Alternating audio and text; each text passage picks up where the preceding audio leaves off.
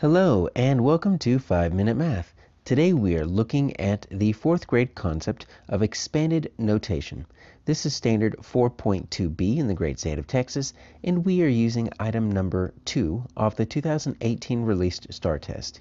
If you have not done so already, please go ahead and take a moment to pause the video, work this problem out on your own, unpause it, and then we will look at our answers together.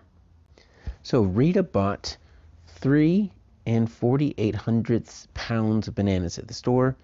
And we need to eh, take that number and put it in expanded notation. So there are no digits in our question problem up here. We actually have to find the number kind of hidden in word form or written form, whichever way you want to call it. And we need to put that into expanded notation. So 3 and 48 hundredths. So let's build a place value chart based on what we have right there.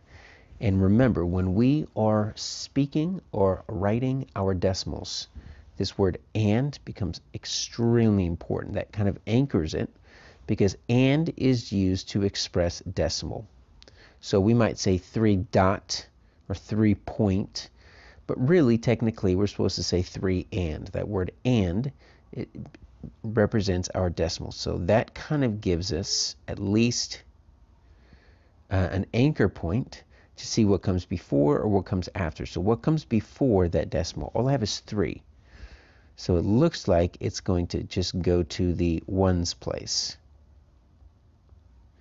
And then 48 hundredths, now we need to go over two spots right here to get to the 48 hundredths. And let's make sure we understand what our place values are worth. Tenths, hundredths, THS, so there we go. There's my 3 and. That's my and right there. 48 hundredths. All right, so now we have it in standard form. And so let's write that. Standard form is just the form with just pure numbers. This up here is written form or word form. So now that we've got it in standard form, we can start to put it into our expanded notation. Now, expanded notation is similar, but not a identical to expanded form. So we've been working on expanded form for a few years now. So let me just put those kind of side by side so you can see how they work.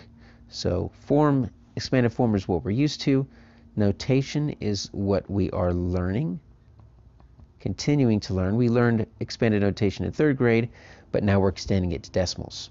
So when we're trying to write this number in expanded form, we just write the value of the digit. So a 3 in the ones place is worth 3. Pretty simple.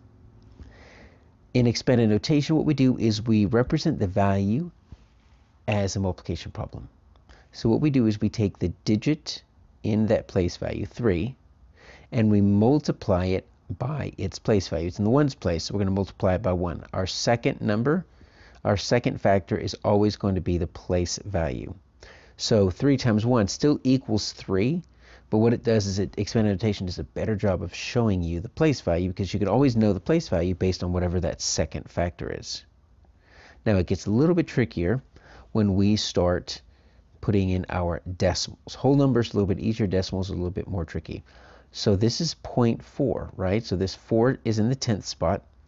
But remember, when we write decimals, if there's nothing in that ones spot, we never leave that ones spot blank. We always put something in the one spot. And if there's nothing that we want to put in there, we're going to put a zero. Now we're not going to put that 3 in there because we already dealt with our 3 right there. So we're going to just look at the value of the 4 in the tens place and it's 0.4. So we always start with a 0 and that's going to be 4 times its place value and its place value is the tenths spot right there or you could do 4 times 1 tenth.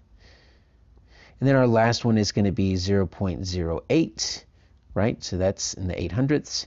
And you can do 8 times 1 hundredth or 8 times. You can always do it as a fraction as well. So our problem up here has decimals, so let's take a look at that. G and 8J are automatically gone. Uh, F looks good in the 10th spot. And so what we're looking here is, now that looks wrong right there. Those two are switched. So actually what we need right here is our answer of F.